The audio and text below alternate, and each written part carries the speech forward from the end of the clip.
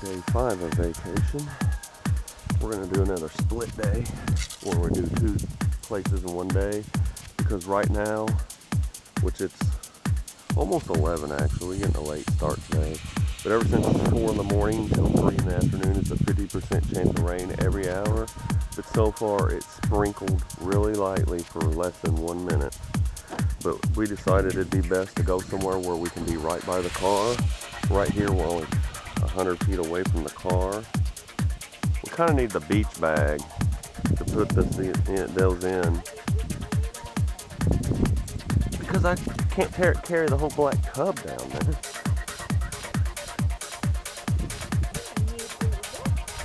Yeah, I do. That way I have a variety. Yeah, but we're close to the car. In that pile.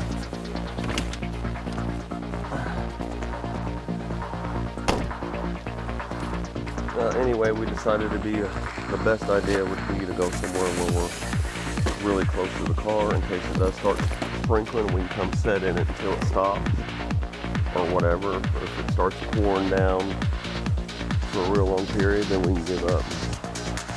But by 3 o'clock, uh, the chance of rain goes back down to 0%. We'll be fine, but I figure they're going to be biting.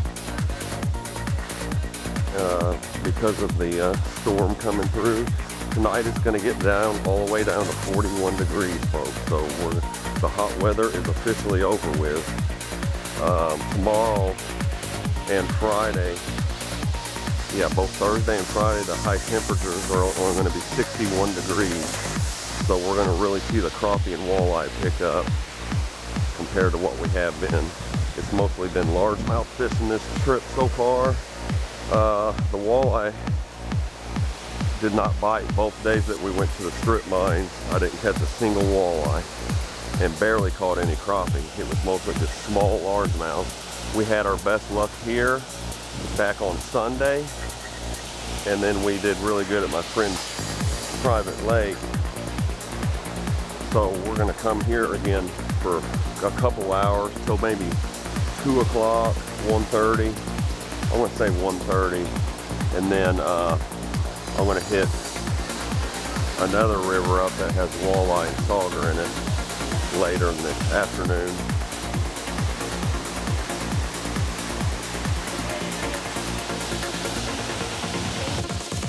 I'd rather catch crappie than bass.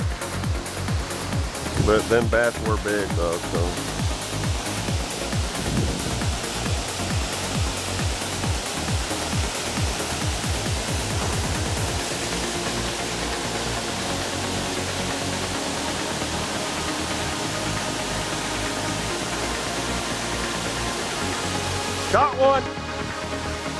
Big spinnerbait bass! Oh yeah! It's another three pounder.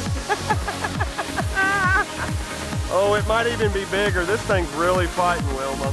Oh my God. Wow. Big spinnerbait bass. Chartreuse spinnerbait. Oh my goodness, it's a big one. Yeah, he's three. Wow. It's a real largemouth too so far, it looks like it. Yep. Oh boy. Wow.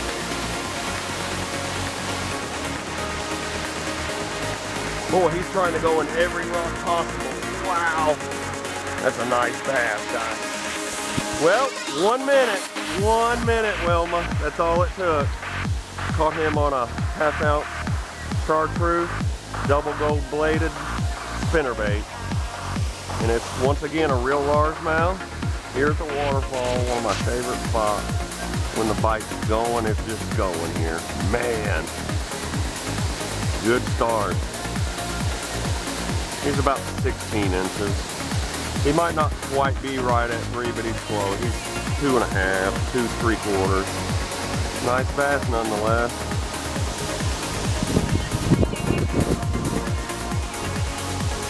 I love fishing those big spinner baits when I first go up to the hole to get the big boys' attention first.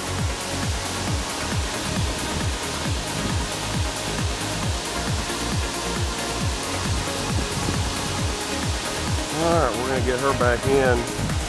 Uh, Nonetheless, this is a good start, guys. All right.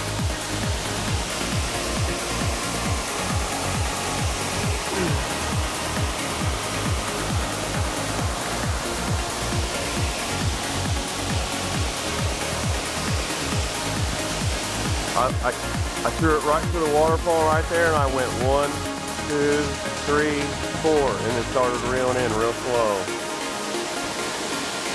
One, two, three, four. And he was on there almost immediately.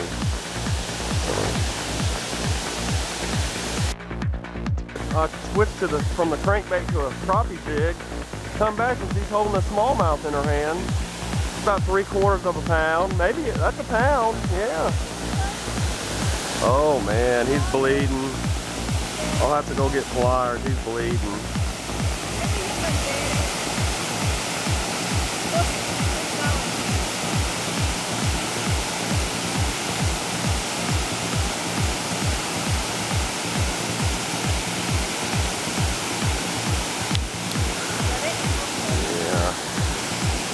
Bad, hun. Here, hold him up. Don't drop it. Yeah. That's a nice smallmouth.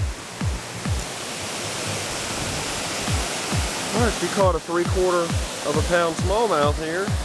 Not too bad. Stay just like that. There you go. Good job. Now we got two different kinds. Now we just got to get some crappie. She caught him on a Authentics Moxie grub. All right, or a Pulsar swim bait, I mean. Chartreuse and orange core.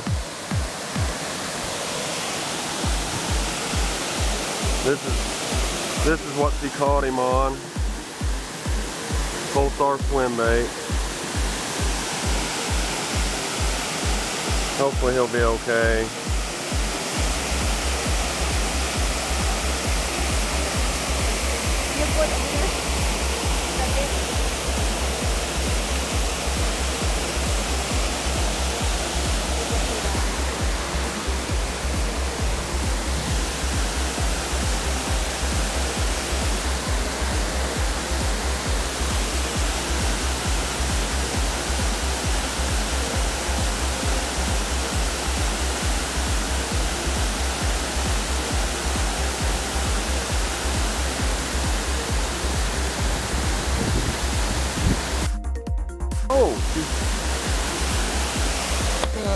Oh, she's got one, folks. Yeah, I was making sure my camera was on. It's a big bass again.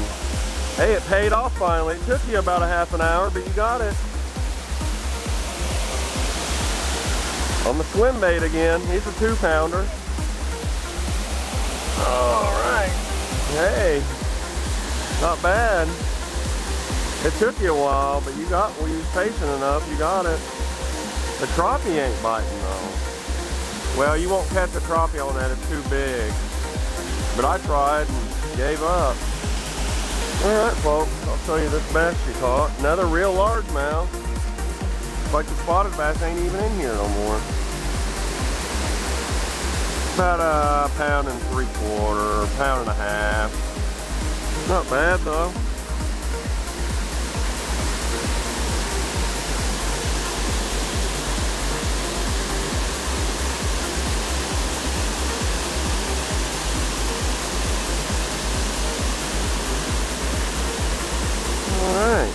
Get him back in. Nice one. See, I might try night crawlers. I, I'll be able to catch bass on worms if I move them around.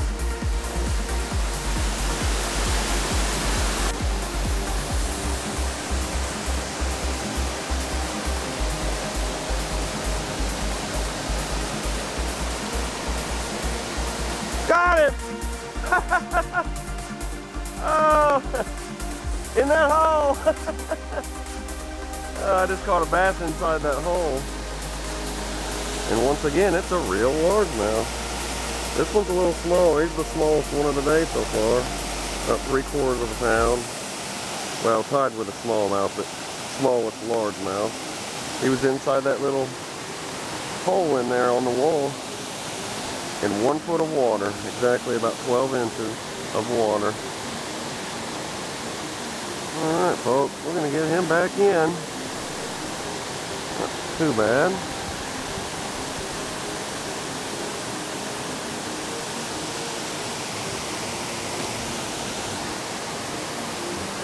Let's see.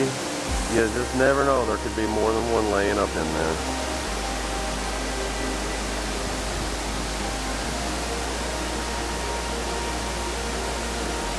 Probably not, though. No. If there is, I done spooked him. He was just sitting there waiting for food. Pretty cool.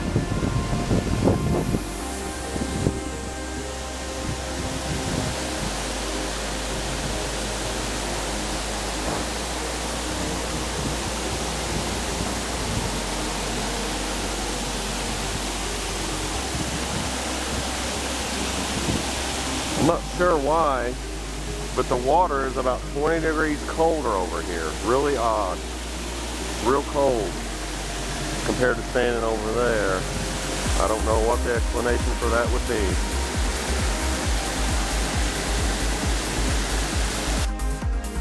River, but about a mile downstream at a little low water bridge. There's one other person here. So I'm gonna fish the right side of that hole and I'll fish the bedrock.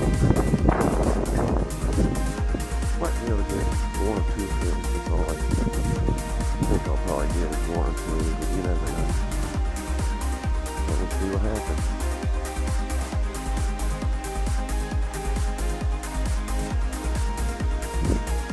Well, I'm glad that weather cleared up quick.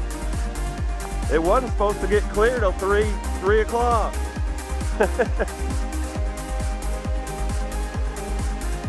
huh?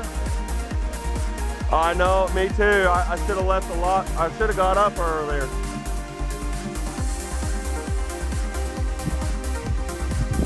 We caught four at the waterfall. They were all two pounders.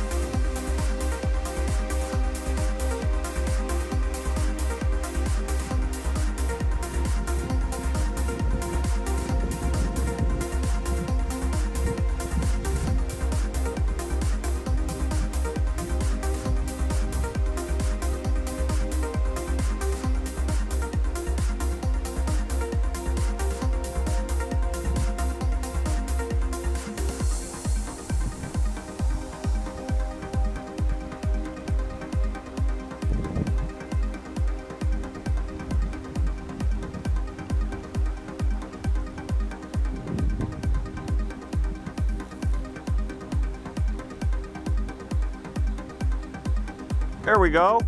Oh yeah. Nice bass. Boy, they've been biting all week long. I tell we went one day and caught 50.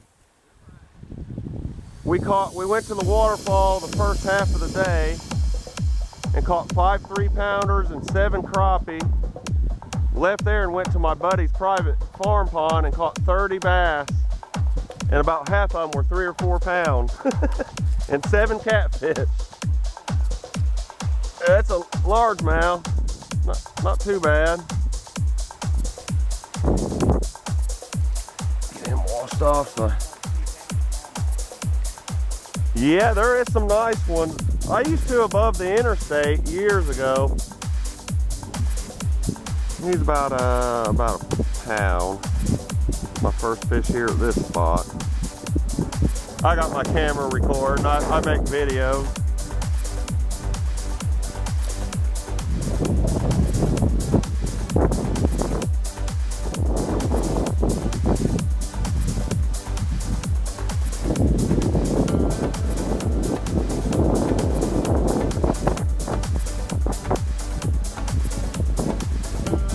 Oh yeah. Crappie. Yeah, that's what I'm wanting. I didn't get a single one at the waterfall. Them damn dead leaves, there's thousands of them and they're going in a big circle there and you can't, your lure gets hung up every. All right, folks, I got a my first crappie of the day. I'm using a Charlie Brewer slider grub, pink and half pink and half green with a quarter ounce jig head. He's a black crappie about seven inches, almost eight, maybe yeah, seven, seven inch. I'm gonna keep this for a minute so I can show her she's getting a drink. That's what we're after. I'm gonna go later and fish for sauger and walleye up at St. John.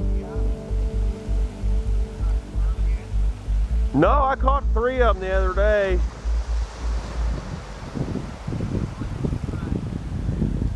They're in here down further, but the only place I know how to get here is C, C Highway, but I know there's got to be some other accesses. I'll just have to look. I caught a bass and a crappie already.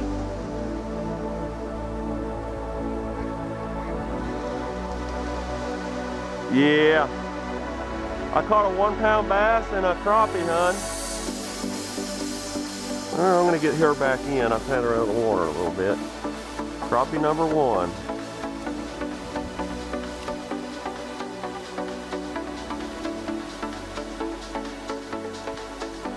Damn dead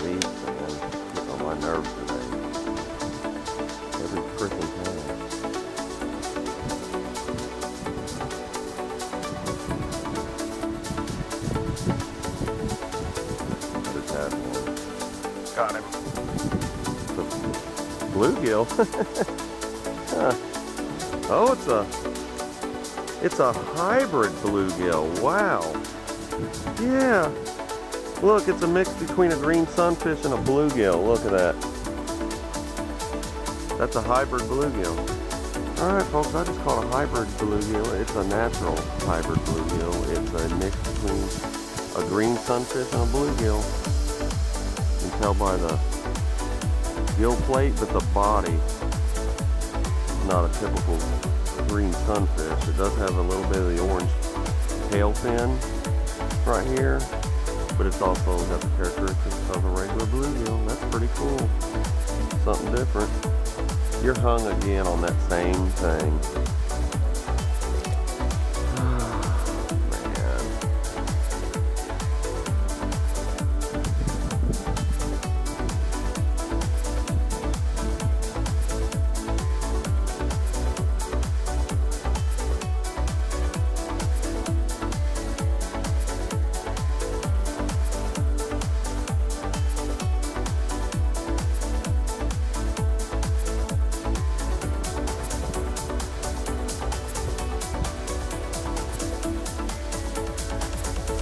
Second location for the day is 10 till 4. My main purpose is here at and Walleye because they were not biting in the strip mines. And uh, I've been catching a lot of bass and crappie mostly the last couple days. So I'm wanting to kind of get something different.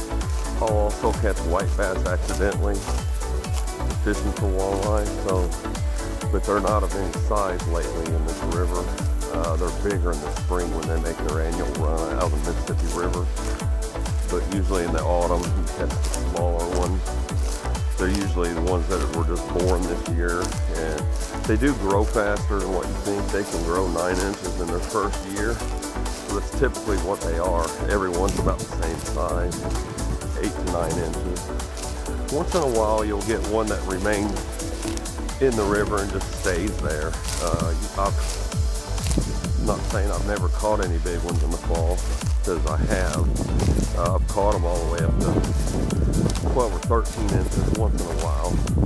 It depends on the water level. When the Mississippi's really high it keeps the keeps the river pushed back, then they tend to be bigger.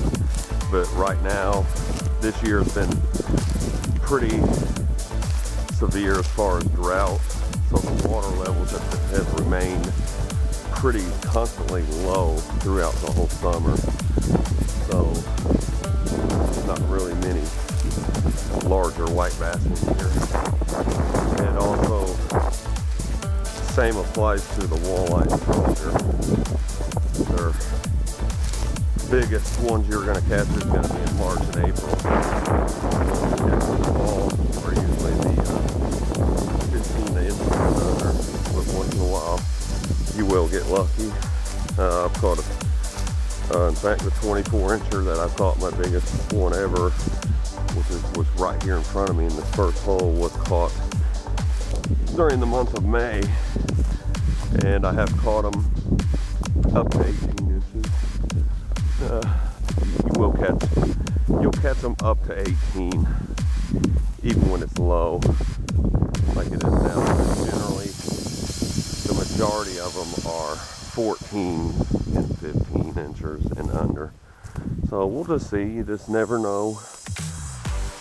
Thank God there's a deer that's made a trail down here. There's a lot of cockleburs that I do not want on me. Beggar lice and all that fun stuff. And I'm trying to avoid them at all costs. Um, I'm by myself because Wilma does not like doing the waiting very hardcore like I do. And I explained to her that I'm going like six or seven holes down and I'm going to be constantly moving. So she's fishing a sandbar up for me and it's a real long hole. She's just going to stay up there and fish for worms. So when I get done, I'm just going to meet up. I'm just going to go up where she's at at the end of the day when it's getting dark and meet back up with her. I really wish she would go with me, but I understand she don't like wading in water up to her shoulders to get to the next hole and just constantly moving. So uh, it's gonna be me, guys, and she'll be able she'll be able to see the fish I catch on the video, so it's not a real big deal. There's a school of shad out here, folks. Look at this big old ball of shad.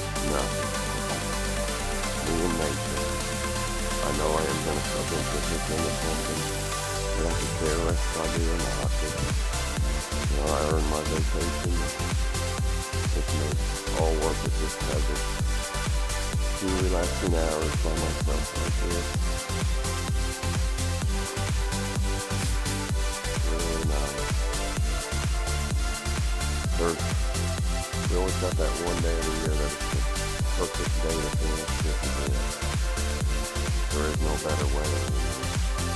It's, to me, way better than spring.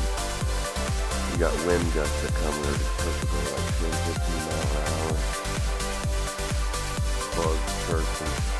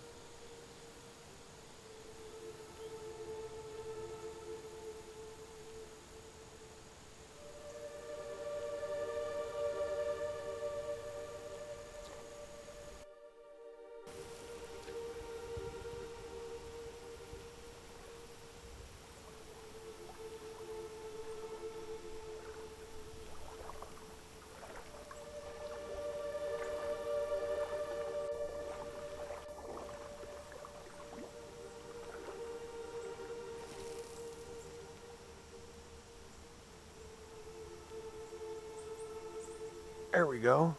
All right, fish number two. It's big. All right, it's a big bass. Wow, it's three pounds again. Finally. Maybe they're just start, starting to pick up or it took me a while to find them. It may have been worth walking down here. I just got to get the right kind. I need a walleye. I'm pumped up for walleye, guys. Totally pumped up. Nice two pounds. It's a two pounder and it's a real largemouth.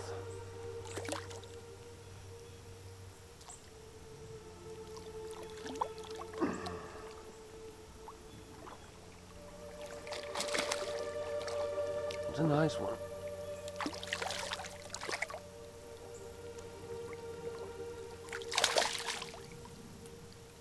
Not bad, all right. Caught a lot of half decent largemouths this trip, this vacation.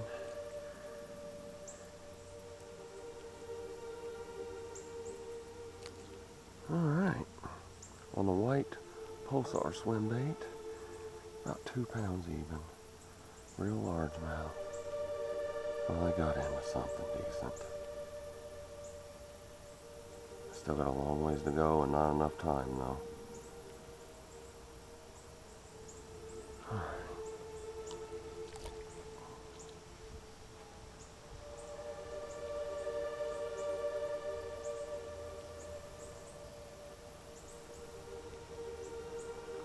See if there's one more over there.